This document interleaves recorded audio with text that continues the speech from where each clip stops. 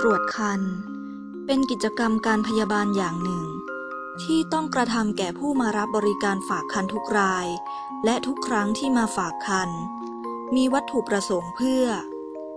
1. เปรียบเทียบขนาดของมดลูก กับระยะเวลาของการขาดประจำเดือน 2. เพื่อวินิจฉัยสภาพของทารกที่อยู่ในครรภ์ว่าอยู่ในลักษณะใด 3. เพื่อวินิจฉัยว่าเด็กมีชีวิตอยู่หรือไม่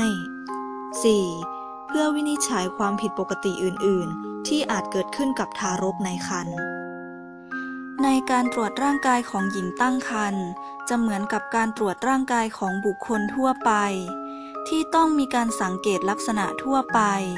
ตั้งแต่ศีรษะจรดปลายเท้า ตั้งแต่ลักษณะท่าทางการเดิน อาการผิดปกติที่สามารถพบได้จากภายนอก หากท่าเดินผิดปกติ อาจเกิดจากความผิดปกติจากกระดูกเชิงกราน ต้องมีการวัดไวท่อนทราย ชั่งน้ำหนัก ปกติน้ำหนักจะเพิ่มขึ้นตลอดระยะเวลาของการตั้งครรภ์ประมาณ 11.5 ถึง 16 กิโลกรัม ส่วนสูงไม่ควรต่ำกว่า 150 เซนติเมตร ถ้าส่วนสูงน้อยกว่า 150 เซนติเมตร อาจมีภาวะของ cephalopelvic dysabortion คือภาวะช่องเชิงกรานของมารดามีขนาดเล็ก หรือไม่สามารถขยายตัวกว้างได้พอที่ศีรษะของทารกจะผ่านช่องคลอดได้ จากนั้น ให้หญิงตั้งครรภ์ไปปัสสาวะก่อน เพื่อเป็นการวัดระดับยอดมดลูกให้เที่ยงตรง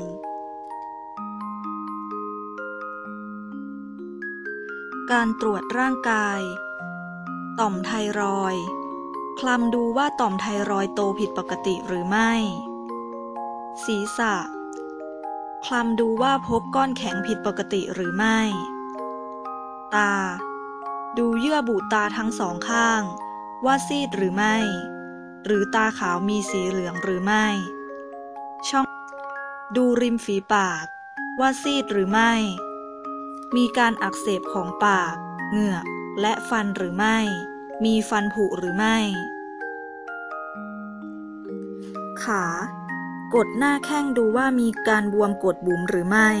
ถ้ามีอาการบวมกดบุ๋ม อาจเป็นอาการอย่างหนึ่งของโรคคันเป็นพิษ เต้านมและหัวนม เริ่มจากดูลักษณะของเต้านม ลานนม หัวนม ว่ามีลักษณะอย่างไร แบน บอด บุ๋ม มีรอยแตกหรือรอยแยกหรือไม่ สั้นหรือไม่ ปกติไม่ควรต่ำกว่า 0.5 เซนติเมตร อุปกรณ์ที่ใช้ในการตรวจคัน 1. สายวัด เพื่อวัดระดับยอดมดลูก 2. ไม้บรรทัด เพื่อวัดระดับหัวนมของมารดา 3. stethoscope เพื่อฟัง fetal heart sound หลักในการตรวจครรภ์ จะต้องตรวจในสถานที่มิดชิด และเป็นส่วนตัว ให้หญิงตั้งครรภ์อยู่ในท่านอนหงายราบ คลุมผ้าให้หญิงตั้งครรภ์จนถึงบริเวณหัวเหนาหากผู้ตรวจเป็นผู้หญิง สามารถตรวจได้ โดยไม่ต้องมีบุคคลที่สามอยู่ด้วย แต่หากผู้ตรวจเป็นผู้ชาย จะต้องมีบุคคลที่สามอยู่ด้วย เช่น พยาบาล จากนั้นให้ล้างมือให้สะอาด ก่อนตรวจร่างกาย การดู inspection จะประกอบไปด้วย 1. การดูขนาดของท้อง ว่ามีขนาดใหญ่หรือเล็กผิดปกติ เมื่อเปรียบเทียบกับขนาดของอายุครรภ์ 2. ดูรูปร่างลักษณะหน้าท้อง ว่ามดลูกโตในแนวตามขวาง หรือแนวตามยาว เพื่อเป็นการแยกทารกในแนวขวาง ออกจากท่าหัวและท่าก้น 3. ดูการเคลื่อนไหวของทารก เพื่อดูว่าทารกยังมีชีวิตอยู่หรือไม่ และทารกมีการเคลื่อนไหวอยู่บริเวณใดมาก แสดงว่าส่วนหลังของทารกจะอยู่ด้านตรงข้าม 4. ดูลักษณะทั่วไปของหน้าท้อง เช่น รอยแผลผ่าตัด ลักษณะผิวหนังรอยโรค ลักษณะหน้าท้องหย่อน หรือกล้ามเนื้อหน้าท้องแยกห่างจากกัน ซึ่งจะทำให้กล้ามเนื้อหน้าท้องอ่อนกำลัง แรงเบ่งไม่ดีในระยะคลอด 5. ดูบริเวณหัวเหน่า ว่ามีรอยบุ๋มหรือราบลงไปหรือไม่ ซึ่งจะพบในทารกที่มีท้ายทอยอยู่ด้านหลังเชิงกราน แต่ถ้าเหนือรอยต่อกระดูกหัวหนาวนูนขึ้นมามากผิดปกติ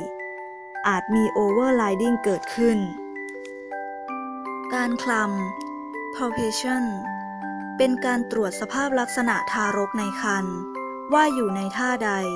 โดยใช้วิธี Leopold maneuver ในการคลำ มือที่ใช้ควรสะอาดและอบอุ่นเพียงพอ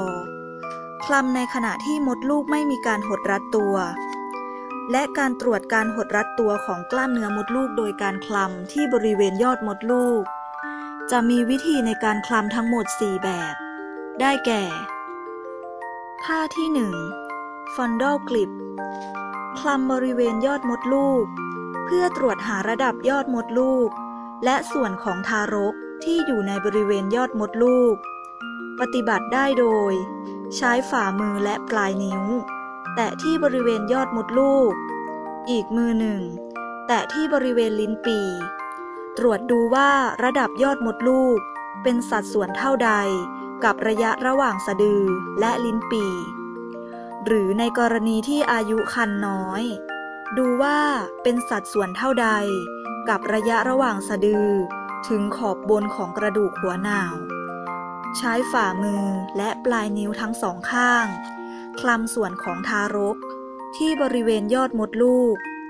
ว่าเป็นศีรษะหรือก้น ถ้าเป็นศีรษะจะคลำได้เป็นก้อนกลมแข็ง มีบลอดเม้น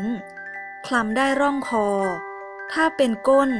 จะนุ่มกว่ากลม อาจมีบลอดเม้นบ้าง แต่ไม่ชัดเจนเท่าศีรษะ ท่าที่สอง คลำหาส่วนหลังของทารก ว่าอยู่ด้านใดของมารดา ปฏิบัติได้โดย